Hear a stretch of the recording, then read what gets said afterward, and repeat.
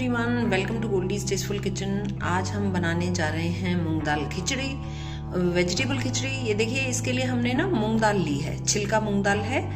इसमें हम आधा कप है ये, और थोड़ा सा हमने छोड़ दिया है ऊपर से। उसमें हम चावल फिल कर देंगे बस। आप सोचिए, बहुत ही थोड़े से चावल, यानी इतना सा बस थोड़ा सा गैप हमने छोड़ा है। और इसमें हम दो मुट्ठी के करीब ये चावल आ जाएँगे, यानी पूरा आधा कप हमने इसको ले लिया है। तो अब इनको मिक्स करके हम अच्छे से धो लेते हैं।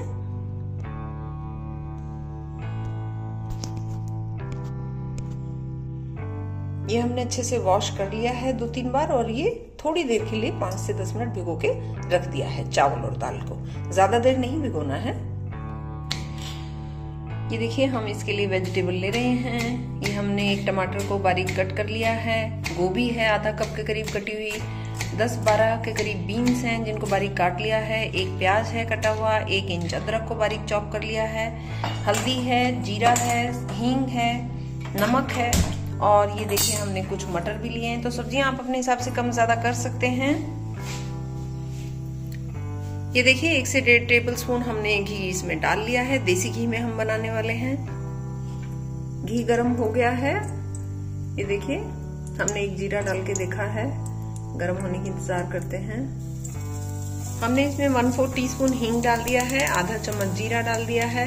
अब साथ साथ हम इसमें डालेंगे प्याज, अदरक। इसको मिक्स करेंगे। यकीन मानिए, ये खिचड़ी बहुत टेस्टी लगने वाली है। आप ये सब्जियों वाली खिचड़ी ज़रूर बनाइएगा। वन फोर टी स्पून के करीब हमने हल्दी डाली है। और अब हम इसमें डाल रहे हैं प्याज। भूनेंगे इसको अच्छे से। गैस को मीडियम ही रखेंगे। और प्याज को अच्छे से भूनते हैं। ये देखिए, प्याज भून गई है। और अब हम इसमें डाल रहे हैं टमाटर। इसको अच्छे से मिक्स करते हैं। मीडियम फ्लेम पर आपको अच्छे से भूनना है। और जब भी कभी आपका सब्ज़ी खाने का, रोटी खाने का मन नहीं है तो इवनिंग डिनर के लिए ये खिचड़ी बेस्ट है।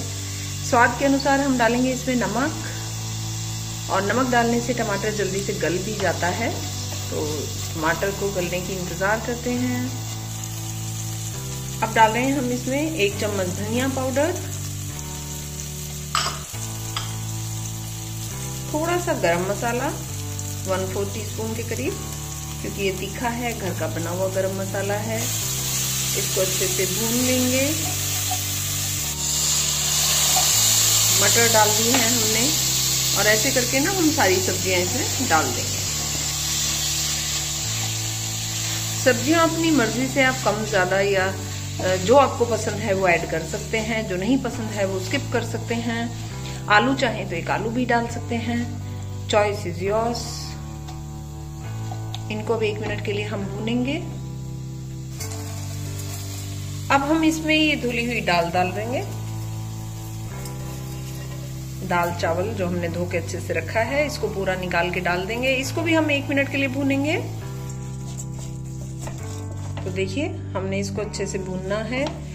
ये छोटी छोटी टिप्स एंड ट्रिक्स हैं जो चीज़ों को यमी बनाती हैं, टेस्टी बनाती हैं। अदरवाइज़ आप कहेंगे कि अरे, हमने तो ऐसे डाल दिया था, लेकिन हमारा टेस्टी नहीं बना। तो वो यही रीज़न होता है क्योंकि हम अच्छे से उसको भुने नहीं हैं तो इसलिए वो टेस्ट नहीं आता है। तो एक मिनट के लिए हम इसको भूनेंगे। और अब हम डाल रहे हैं इसमें पानी भूनने के बाद। तो ये देखिए, हमने पानी डाल दिया है पाँच गुना। यानी जिस कप से मैंने नापा है ना, आधा कप, उसको मैंने पाँच कप डाला है और आप देखिए, इस तरह से पानी डूब जाना चाहिए।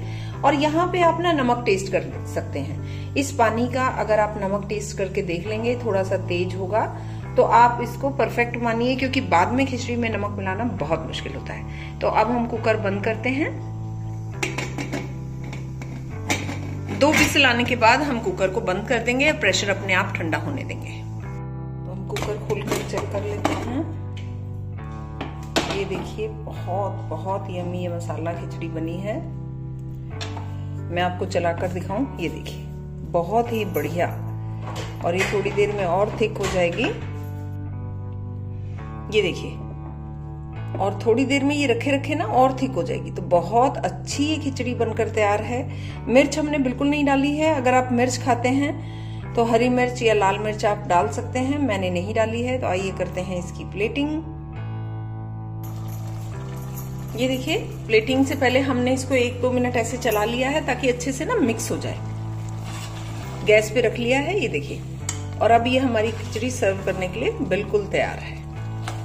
और बहुत ही यमी लगती है। ज़्यादा अगर आप इसको थिक करेंगे ना तो वो खाने में अच्छी नहीं लगेगी। और ये देखिए, हमने थोड़ा सा घी डाल दिया है। ये खिचड़ी जो है यमी सी तैयार हो गई है।